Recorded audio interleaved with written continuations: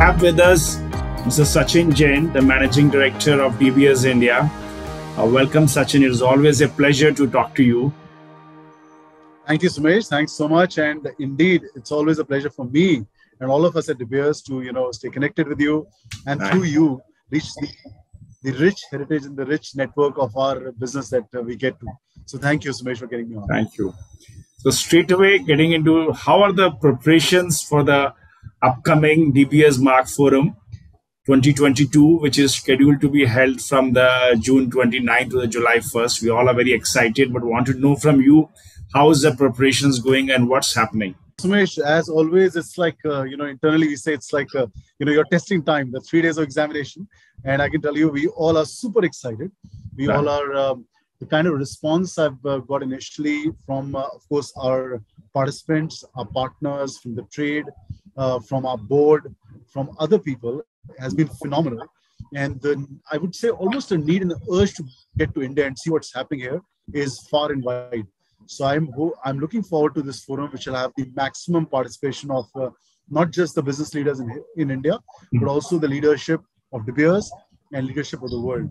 So it's going to be one of the, I would say, most confluenced, broader forum that we do this time, and I'm really looking forward because you know the theme for this this year's forum is uh, really celebrating the 75 years of a diamond is forever, which actually has impacted our business overall so much over the last 75 years, and that commemorates with the 75 years of India's independence, which is very special to all of us. So it's kind of reflecting back of what happened in the last 75 and really constructing together what is a possibility in the next 75.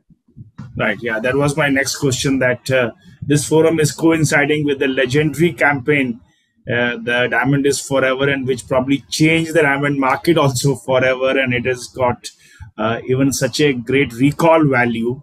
So tell us something about this campaign. You're going to going to have some memories of that campaign during this forum and and all that.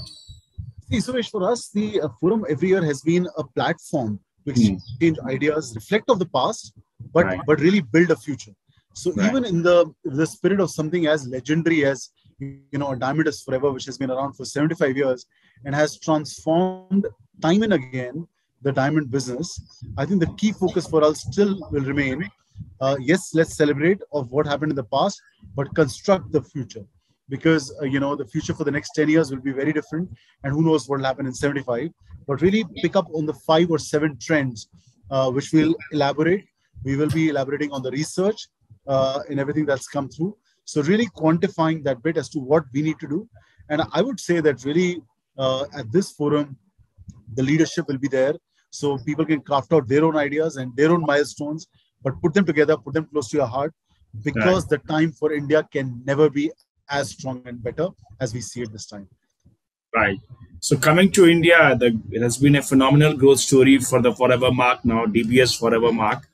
You are kind of present in 275 doors in India and 14 ex- exclusive stores of the Forevermark. Uh, so tell us the future expansion plans in India.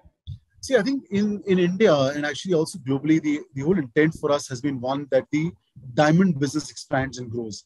And that is fundamental. And I think from that perspective, there are brands which we place. So we have uh, De Beers Forevermark as a brand. We started Code of Origin, which is of course a, you know another offering that we started last year. Very strong results there.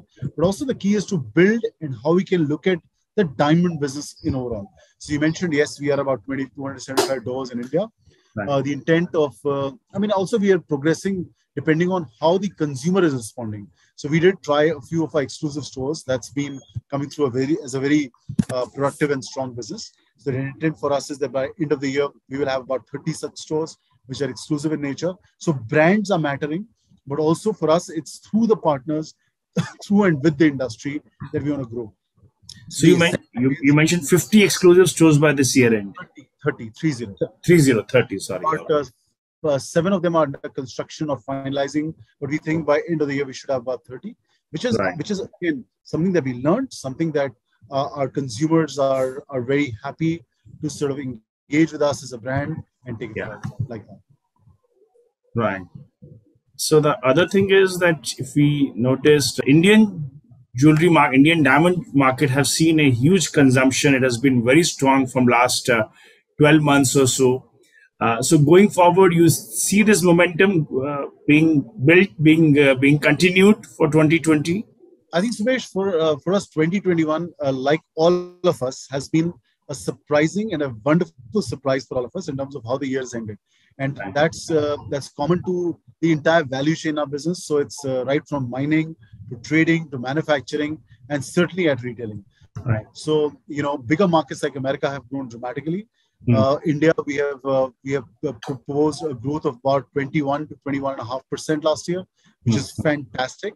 And what happens when you come out of a very strong year is that uh, you know you can some leaderships and some leaders in the business will craft out and make some right investments into their future expansions, backward integration, vertical integration, and all of that will happen.